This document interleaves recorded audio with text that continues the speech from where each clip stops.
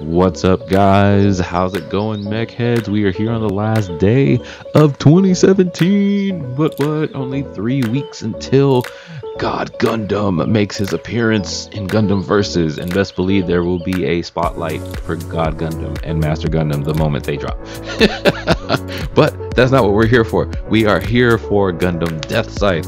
Gundam Death Scythe is from Gundam Wing, amazing anime which a lot of people know about here in the West due to Toonami and their amazingness.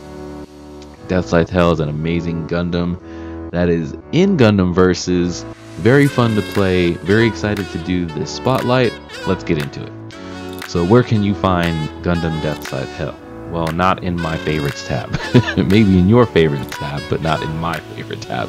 Um, Death Scythe Hell is a 300 cost pure fighting type, a lot like the Altron Gundam, which we've covered. Death Scythe Hell will cost you or your team 300 points upon death each time you respawn. So if you notice, a couple other Gundams in the Gundam Wing tab are 300s and a few others are pure fighting types.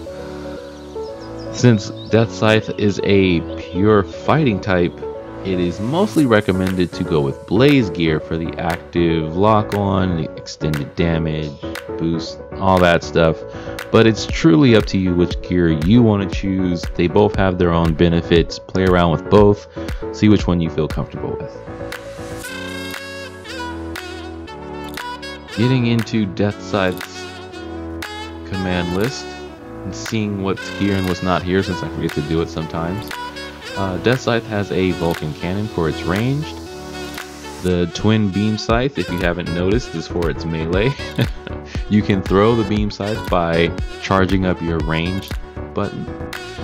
He has the Buster Shield, the Hyper Jammer, and the Active Cloak Attack. And of course, the Burst, as always.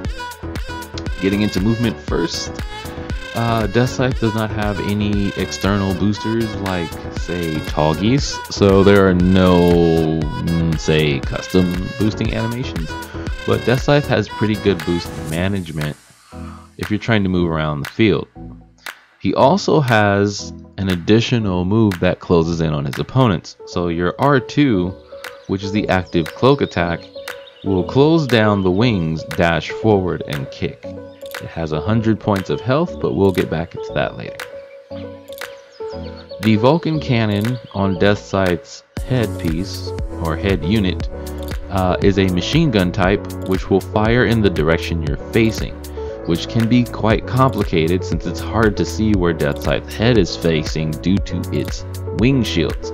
So always keep in mind that you have to be at least facing the direction or at least facing mm, to the side to where Death Scythe's head can turn and face the target in order to hit them with the Vulcan cannon. Since it is a machine gun, it needs a multiple hits to score a knockdown. The charge is also a ranged attack. Death Scythe's L1 or AB for arcade users will shoot the Buster Cannon, stunning the enemy. L2 or AC will activate the cloaking, which cuts all tracking as long as you are invisible. R2 or BC does the active cloak attack, which we were talking about earlier. It has 100 points of health. It will deflect incoming projectiles to a certain extent. After that, it has a cooldown. Both the active cloak and the act, uh, both the cloaking and the active cloak attack have a long cooldown, so keep that in mind.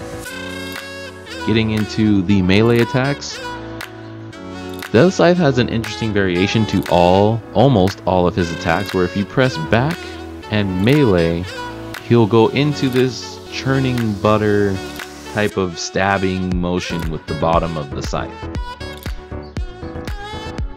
Forward and melee will go into a grapple unlike the neutral combo, which we saw a moment ago. The forward melee attack grapple can be done up to three times in succession. If you clip the animation by dashing forward, you can do it again and do it again and do it again. This animation can also be clipped by the back and melee stabbing weird animation that he has. Which if you press multiple times, press the, if you press the melee multiple times, he will keep stabbing your opponent.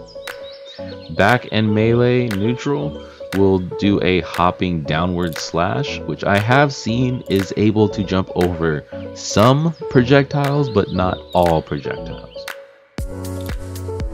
Getting into these side combos with Death Scythe, these side combos are pretty good. You have a pretty good rush in, multiple hits, does a lot of damage. One of my favorite combos.